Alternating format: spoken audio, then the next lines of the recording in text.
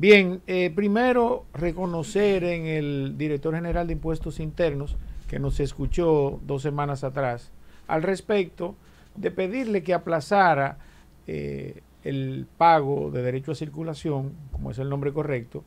en función de que sin importar el porcentaje de placas a renovar a la fecha límite, eso iba a crear una especie de entaponamiento como siempre ha sucedido. No obstante,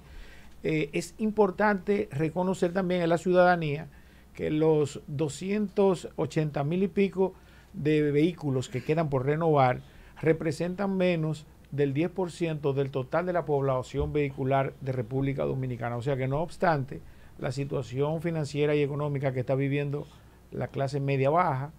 la clase media y la clase baja, que son la inmensa mayoría de vehículos que circulan en República Dominicana, en alguna medida han cumplido responsablemente con el pago del derecho a circulación. O sea que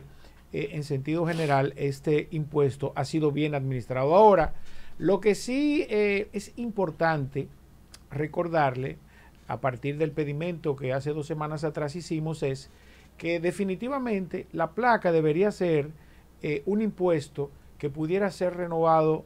todo el año a través del Internet, a través de las plataformas digitales que tiene la misma Dirección General de Impuestos Internos. Yo creo que sin importar que se haya aplazado, en este caso, sin ningún tipo de sanción, moratoria, recargo o multa, que normalmente tiene eh, el derecho a circulación después que, pasa la fecha establecida por la Dirección General de Impuestos Internos, la placa, eh, el, impuesto a la circulación debería renovarse todo el tiempo a través de, de, la página de la Dirección General de Impuestos Internos en este caso. O sea que además de que le agregaría valor a la situación sanitaria en términos de que evitaría grandes tumultos de personas, porque para el 19 de febrero, que es la nueva fecha que se estableció,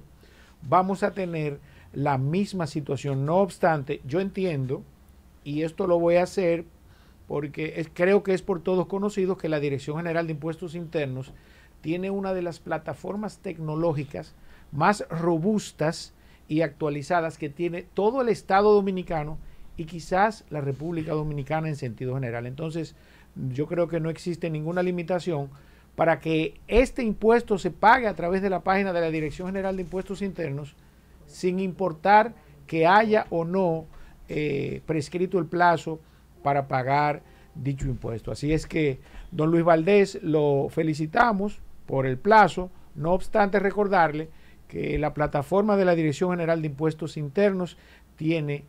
todas las calidades para que dicho impuesto sea pagado a través de, eh, de la página de la oficina virtual de la Dirección General de Impuestos Internos.